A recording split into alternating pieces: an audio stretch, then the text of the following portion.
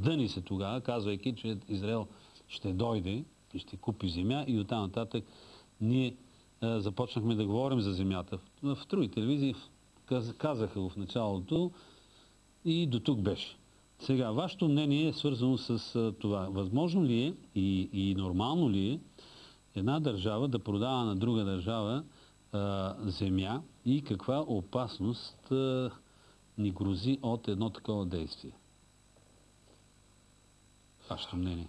То отговор е еднозначен. Опасност има, защото земята българска не е само земя. Това е българска територия. Продавайки ние нашата земя на чужденци, ние непрекъснато скъсяваме тая шагренова кожа, която се нарича България. И не знам, не мисля, ще е да правя някакви аналогии. Знаете, че отвъд западната граница има едно понятие остатъчна Югославия. Не дай Боже, дано не доживеем, а дано и никога не става, някой ден да се каже остатъчна България. Но, нека емоциите да ги оставим на страна. По принцип, политиката в Европейския съюз е свободна покупко-продажба, включително и на земя. Но, редица страни са сложили дългогодишни мораториуми върху това право да изкупуват собствената им земя. Някога имаше, и то беше точно по времето на правителството на Костов, имаше а, желание България чрез парламентарните процедури да бъде гласувано решение за налагане на мораториум. В интерес на истината аз не знам докъде стигна това. Но действително, докато ние сме в този барутен погреб, Балканите, и всеки да дойде да купува, вярно, няма да хване земята нали, от тук и да си изнесе. То стане обратното.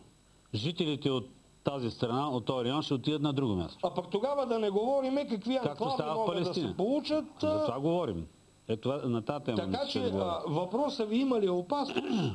Отговор е еднозначен. Опасност има и да внимаваме много какво правим.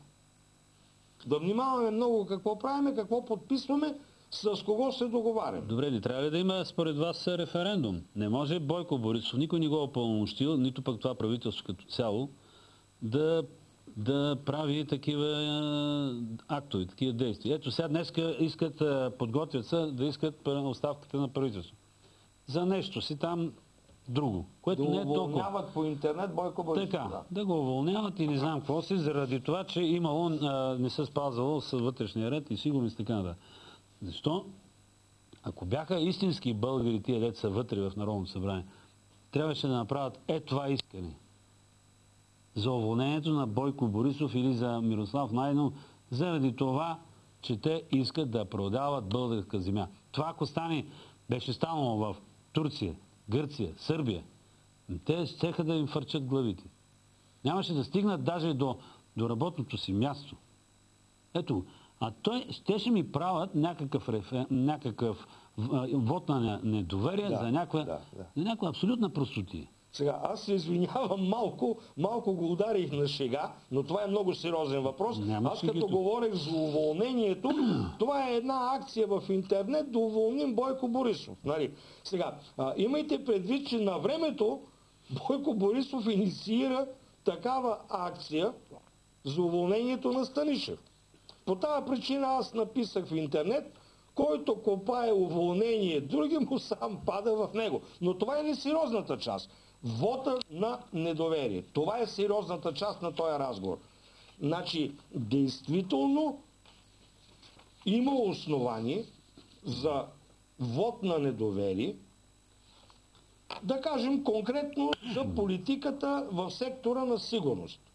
И а, може да ви е неприятно, но пак ще кажа, напълно съм солидарен с становището на парламентарната група на Синята коалиция, тя да подкрепи този вод на недоверие, независимо, че други са вносители, сега почват, разбира се, да викат, аха, ама вие сте там един кюб. Не, ние още от самото начало взехме много принципна позиция за това, че Бойко Борисов носи отговорността за това, че е оставил господин Цветан Цветанов в Министерския съвет.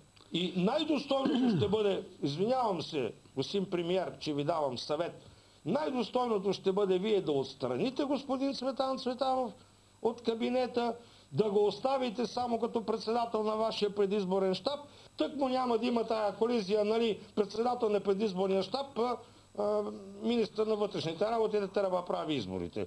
достойно ще бъде тая постъпка да отеглите господин Цветан Цветанов от значи, много, много наивно искане имате, защото да, може да се случи. наивен човек. Може да се случи точно обратното. Цветанов да поиска да, от, отзоваването на Бойко Борисов изобщо от партията. Но нека, пак искам да ви питам и вашето мнение. Трябва ли е референдум? Оставете тия неща за какво? Значи, трябва ли е референдум да има по всичките тези важни въпроси и най-вече по този въпрос за земята, за водата, за визите. Ето, защото това е един подмолен, подмолен удар на Абдула Гюл. Ако ние дадем, направим така, без разрешението на Европейския съюз, защото той го каза малко по-дипломатично, той се отказва а, президента а, на България този, тези мираци на Гюл. Но ако ние направим нещо, което е да е, да е без знанието на, на Европейския съюз и ги пуснем свободно да шетат из България и от България вече пък отиват на Запад, какво се получава? Кой пак ще понесе ударите от едно такова недълновидно решение? Правителството или българския обикновен народ? Българския народ.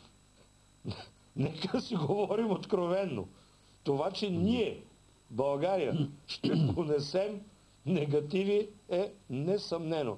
Но нека да си мисли и Европа тя какви негативи ще понесе, когато...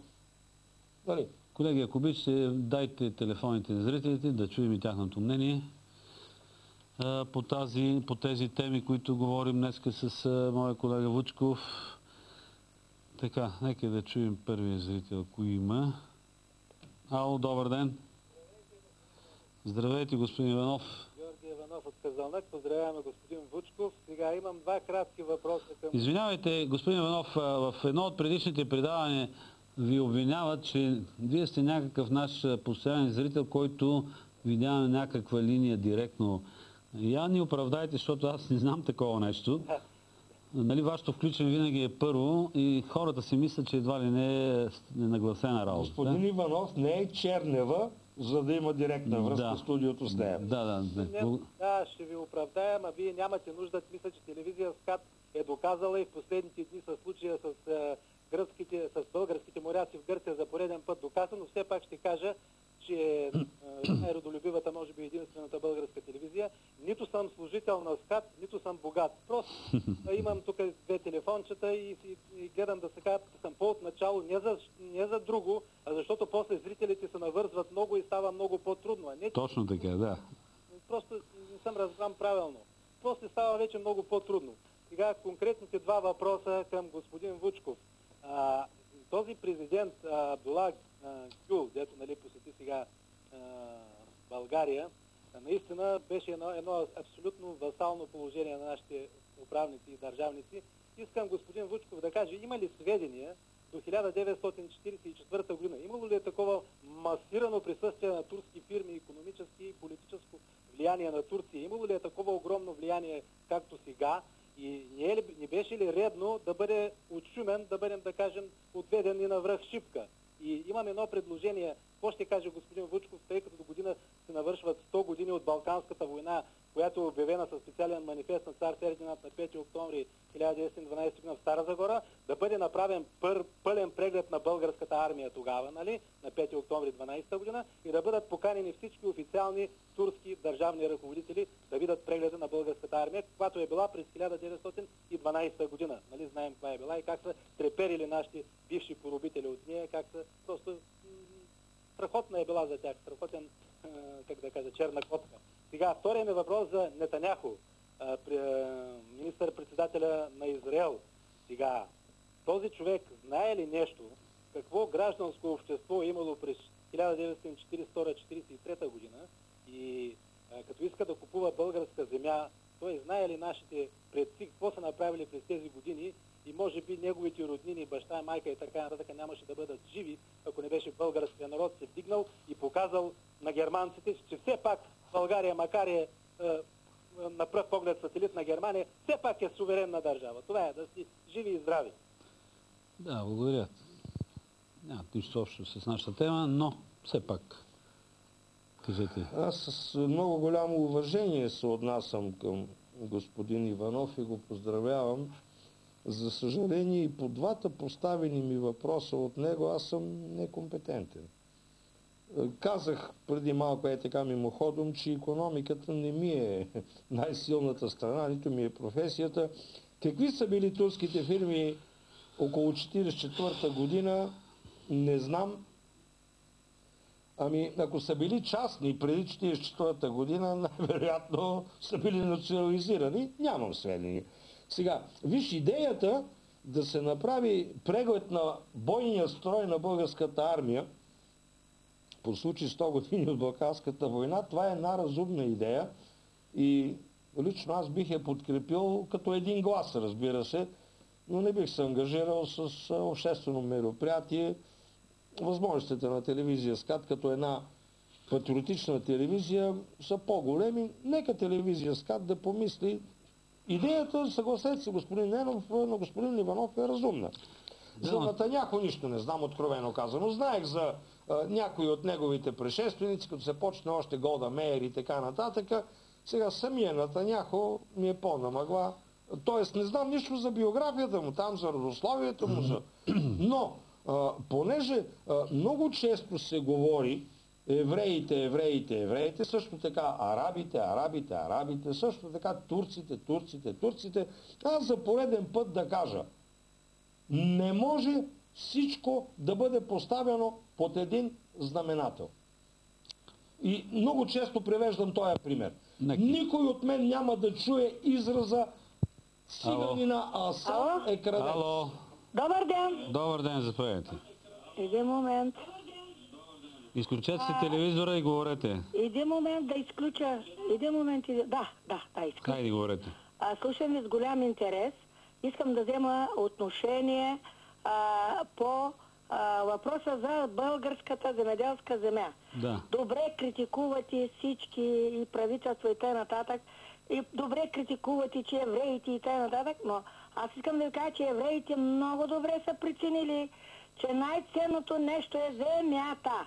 Вие, господа журналисти, защо не контактувате с българския народ – защо не му внушихте, че най-ценното нещо е земята?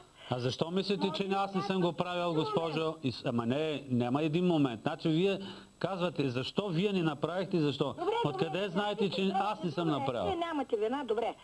По принцип, по принцип, никой на сила не чрез война и т.н. взима българската земя.